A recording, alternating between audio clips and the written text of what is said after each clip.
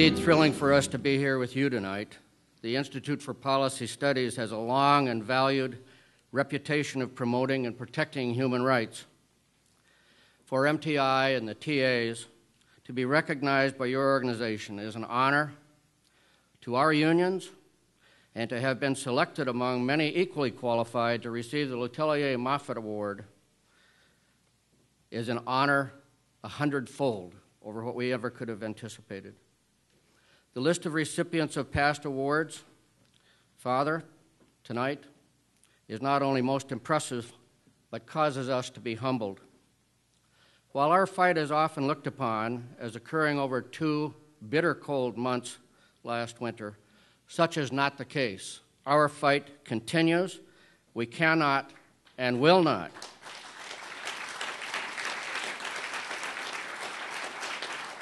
We cannot and will not let up until both individual worker rights and union rights of representation, both stolen by a puppet governor at the behest of the right wing American Legislative Exchange Council, have been restored. Wisconsin has long been a progressive state, the origin of which goes back to the beginning of the last century with Fighting Bob La Follette. It is funding by the Koch brothers Amway, Walmart, and the like, which has in recent years stolen our elections in Wisconsin, including that of the recent governor's election, the recent U.S. Senate election, both houses of the legislature, and even our Supreme Court. I'm glad to say, however, that the Wisconsin progressive movement is on its way back. Having won two state recall elections in solid Republican areas this, this past fall. and preserving two Democrat recall elections, we are, our mission is now to move on and recall Governor Walker.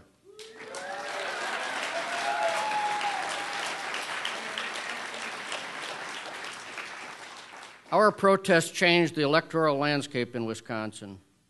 Totaling the votes in the nine Senate recall districts that I just talked about and comparing it with the votes of the governor in the same districts just 10 months prior, his vote count would fall by 65,000, about half of his total margin of victory. And we came within one tenth of 1% of unseating a regressive right wing Supreme Court justice, one tenth of 1%. And I'll tell you, we were lucky. We had thought if she could get 30% of the votes, we would be lucky. We came within one tenth of one vote, of, of 1%. That never would have been possible without the surge in the, in the Wisconsin progressive movement. Ironically, the governor and his cronies across the country got elected by hoodwinking the middle class and inducing many to vote against their own interests. Their campaign was a slick one, effectively pitting private sector workers against public sector workers, painting public workers as the haves and the private sector workers as the have nots, when it was really the corporations which stripped the private sector workers of not only their benefits, but their unions. MTI is a member driven organization, living proof to my right.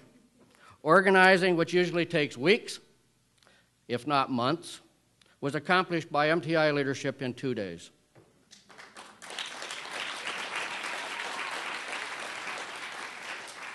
Following what the TAs did, as Barbara Lawton talked about, that same day, I was meeting with the MTI Board of Directors, giving my usual report, but I was telling them what plans the governor had to take away their rights. That meeting stopped immediately. Get the list of our representatives in the schools. The board started calling, telling the people to be at a meeting the next day. For the first time in a couple of years, we had an overflow crowd of representatives and they started calling the people in the school saying, Tomorrow, don't go to work, go to the Capitol. And we shut down the schools then for four days.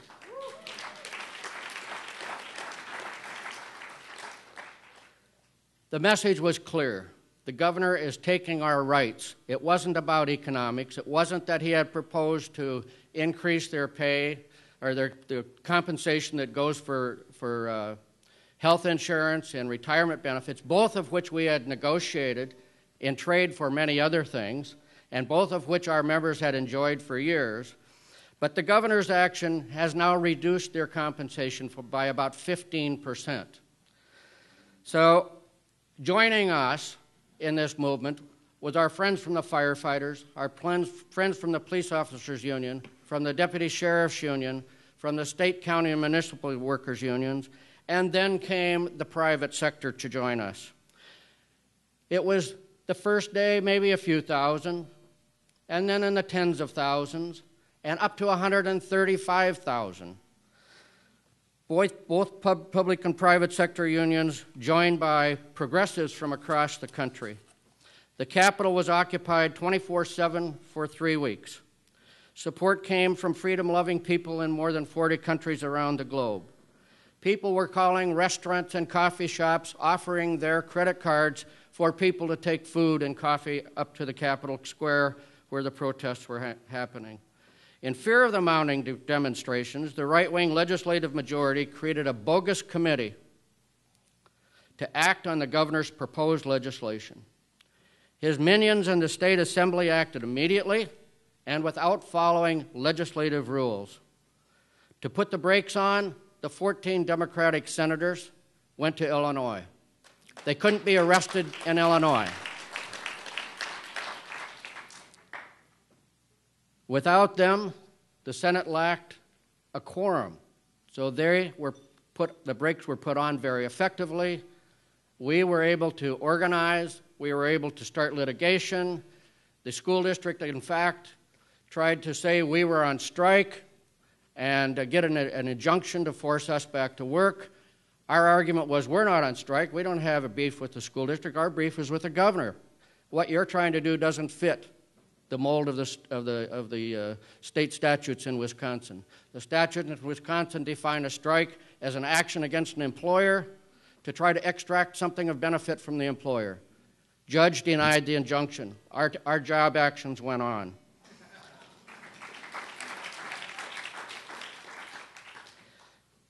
The legislation unfortunately went on. The, the Senate Democrats came back. The, the action was passed immediately, with obviously all of them voting against it. But the heavy, heavy handed politics, the heavy concentration of, of, of, of uh, protesters, was a big collision course. And the governor, in his fear, refused to deal with us, went forward and passed the legislation. We had one last hope. That was our Secretary of State, a good Democrat, a progressive Democrat. He refused to publish the legislation, so it could not become law. So, so what does the governor do? He directs that the Department of Administration, his Secretary of Administration, publish the law by sending it out by email. So it passed, if you will, by not only something that was not enabled by legislative rules, it was not enabled by the statutes of Wisconsin. That fight goes on. It was former President Eisenhower who said, It's not the size of the dog in the fight, but the, fight, the size of the fight in the dog. And that's where we are, folks. When it comes to the rights of the people, we cannot be deterred. IPS is an example of that. The TAs are an example of that. MTI is an example of that. We will press on. We cannot fail to go forward and win this fight the middle class and the poor have been taken advantage of by the governor's legislation. We must get that reversed. The governor may prevail in the short term. He is not going to prevail in the long term, as we in the progressive movement are not going to stand idly by while our rights are taken, while our freedom of speech is taken, while our freedom of assembly is taken and our unions are demoralized and go away. That is not going to happen. We shall fight on.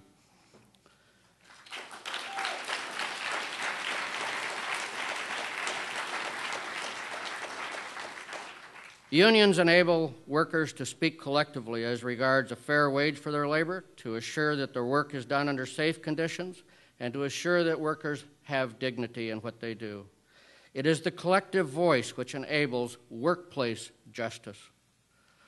We don't understand why those on the far right are not respectful of those who, re- who work for a living and wish to benefit from collectivism. Recognizing this in the mid 1900s, U.S. Supreme Court Justice Hughes observed Long ago, we stated the reason for labor organizations. We said that they were organized out of the necessities of the situation, that a single employee was helpless in dealing with the employer, that union was essential to give laborers the opportunity to deal on equality with their employer. Remember, it was the union that brought the weekend, the 40 hour week, the eight hour day, sick leave, worker safety, and the ability to live the American dream. One of the interesting things that is now surfacing in this right wing, from this right wing legislation is that they failed to take into consideration that 15% of loss of income that I talked about a little while ago. That that was caused by this governor forbidding by legislation public employers to pay more than 88% of the health insurance premium. Well, that was part of what we bargained. That was part of our deal. The school board agreed to that. And we had negotiated that the school board pay their share and the teacher's share into the retirement system. That was something that we bargained. We gave up wages to have them do that because that was tax free money when they did it that way. Well, what he has won was they have taken $1 billion out of the economy. We now have people who can't buy their kids tennis shoes, can't buy school supplies. So that, that, those are essentials. But also took away a lot of discretionary spending. The people going out to dinner. The, the, the restaurants in Madison are not doing well. We have a huge public sector workforce in Madison. But not only we have 5,000 people in the school district, we have the city of Madison, we have Dane County, we have the Technical College, we have the University of Wisconsin, and we have the state employees. Their discretionary income down 15%. So they aren't doing the things that I mentioned. They cannot afford to do those kind of things. And it's gotten so bad that the governor walks into a restaurant and the people get upset by him and they start protesting and raising hell because he's in the restaurant. And the proprietors ask him to leave. Well, in closing, let me tell you thank you once again for Madison Teachers and the Teaching Assistants Association. We must stand firm against those who take away our rights and their intention to destroy our unions, the vehicle which provides power and equity to working people. Keep in mind that it was the ship, shipyard workers in Gdansk, Solidarity Union, that caused the first crack in the Iron Curtain. So, together, folks, we shall overcome. Thank you very much.